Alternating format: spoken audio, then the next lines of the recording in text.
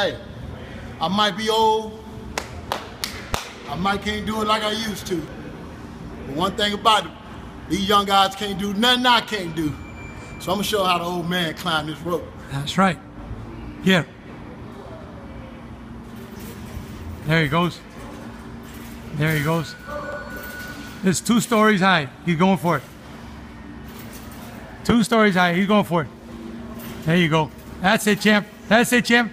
Like a dog. Fight it. Hold on tight, champ. Good, good, good, good. Now bring it on down. Nice and easy.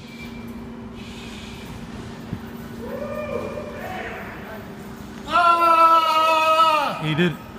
He did it. There it is. It ain't nothing to a bull. Looks easy, but can't do it that easy. Bring this. That's it. Hey, Antonio, how you feeling about how things are going for you? Man, we just invested. We just put an investment in our career today. A lot of good hard work, strong, feeling good. Every day is like this. Hard work.